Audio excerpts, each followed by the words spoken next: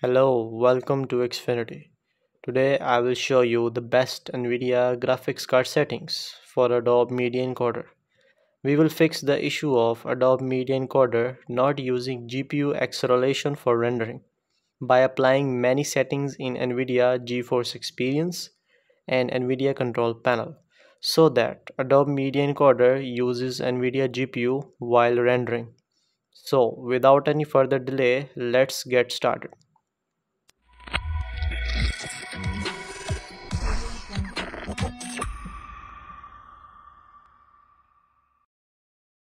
Alright, so today I'm going to show you the best NVIDIA graphics card settings for Adobe Media Encoder 2020 or 2021. We are going to adjust some settings in GeForce Experience and NVIDIA control panel and right inside the Adobe Media Encoder so that Adobe Media Encoder may use the GPU while rendering. Alright, so the purpose of this video is to increase the rendering speed in Adobe Media Encoder. If not, then the rendering speed of the Adobe Media Encoder will be highly affected alright so for this you need to make sure to watch this video till the end this video contains many parts First of all, we will dive straight into the GeForce experience and adjust some settings there that is required to increase the rendering speed in Adobe Media Encoder. Secondly, we are going to dive straight into the NVIDIA control panel and uh, change some settings to customize the usage of uh, GPU for Adobe Media Encoder. Thirdly, we are going to dive straight into the Adobe Media Encoder to apply some settings so that the Adobe Media Encoder may use GPU while rendering. Alright, so without any further delay, let's get started. First of all, we are going to uh, dive straight into the GeForce experience. Make sure the GeForce experience is installed on your computer because it is not provided uh, by default. You need to download and install it on your computer. Once you are done, you need to go straight into the GeForce experience once you're right inside the GeForce experience you need to navigate to drivers.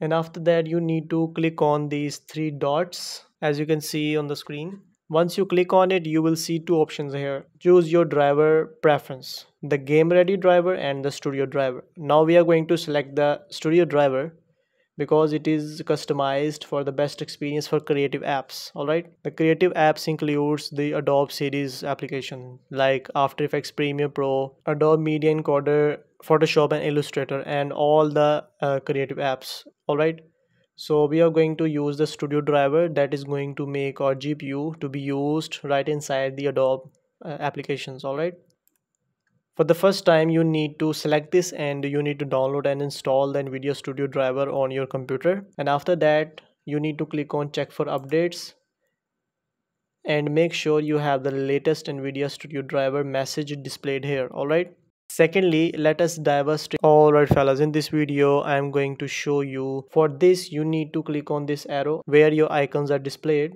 and right click on nvidia icon and uh, select nvidia control panel. Now this nvidia control panel is provided by default and you don't need to download and install the nvidia control panel. If you are unable to find the nvidia control panel just go to the search and type nvidia. And you will see the nvidia geforce experience and nvidia control panel. You need to click on it. All right so once you're right inside you need to click on the first option here adjust image settings with preview and make sure you use the advanced 3d image settings all right? Make sure to select the second option here. And then you need to click on manage 3d settings just below the first option. And now this uh, this part is very very important. You can see two options here global settings and the program settings all right if you select the global settings it is going to apply the all the gpu settings to all applications all right? And if you navigate to the program settings this specific program settings is going to be applied on a specific application. And i recommend to use the program settings all right? You need to uh, select the drop down and make sure the adobe media encoder cc is listed here. If you cannot find the adobe media encoder cc from here you just need to click on add and you need to find the Adobe Media Encoder from this list. As you can see, Adobe Media Encoder 2020 is listed here. And if still you are unable to find Adobe Media Encoder, just click on Browse and specify the path of the Adobe Media Encoder. All right. The default path of this application is uh, the local disk C and navigate to program files then select Adobe and uh, you can see here Adobe Media Encoder 2020 and uh, go down a little bit and you will see Adobe Media Encoder just click on this and uh, select open. After that your Adobe Media Encoder will be listed in these programs. Just select the Adobe Media Encoder and now I'm going to apply different settings to this uh, Adobe Media Encoder CC alright? So first of all we are not going to uh, increase the image sharpening because it does not uh, include any preview or interface for the editing alright it is just used for the output. So we are going to use off and click on ok. The next option is filtering.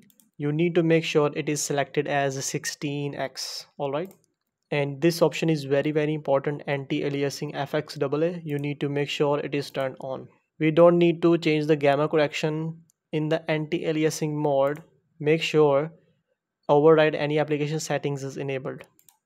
And in anti-aliasing settings we are going to select the 8x all right next uh, this setting is very very important the CUDA GPUs all right so we are going to select this and uh, select the second option use these GPUs if you have multiple GPUs uh, these GPUs will be listed here.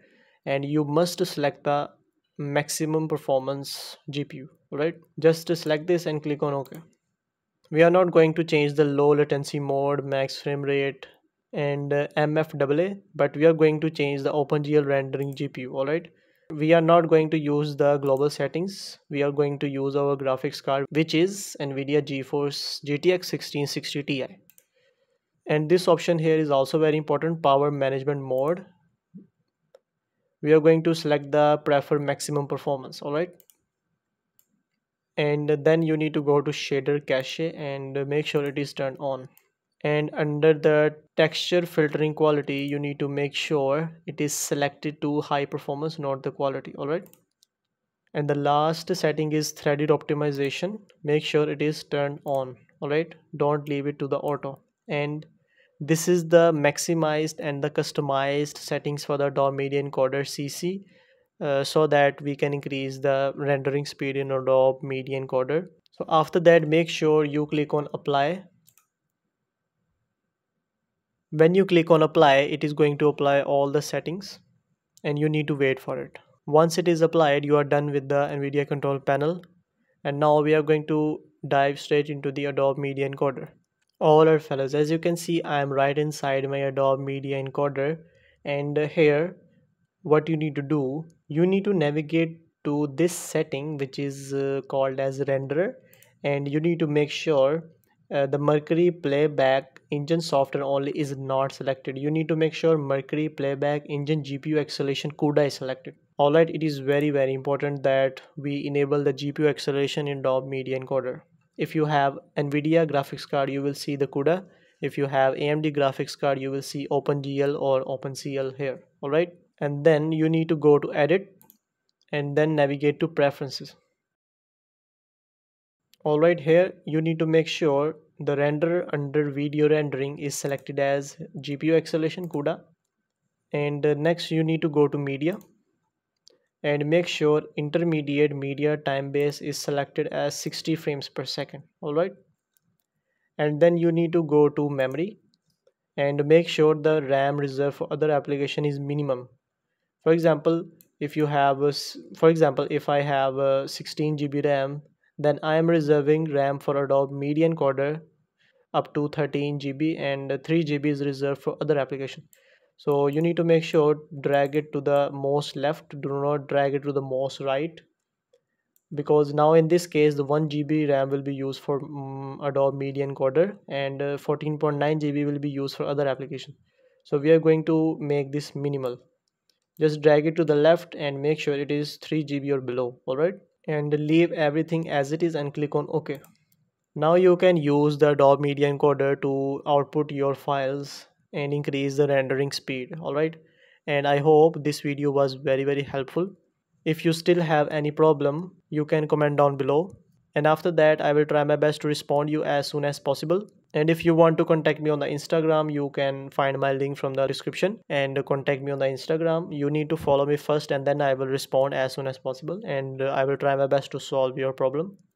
And i hope this video was very very helpful. So make sure to leave a like subscribe to my channel and don't forget to hit the bell icon so that whenever i upload a new video you can get notification at its first. Alright fellas so thank you so much for watching this video. Have a nice day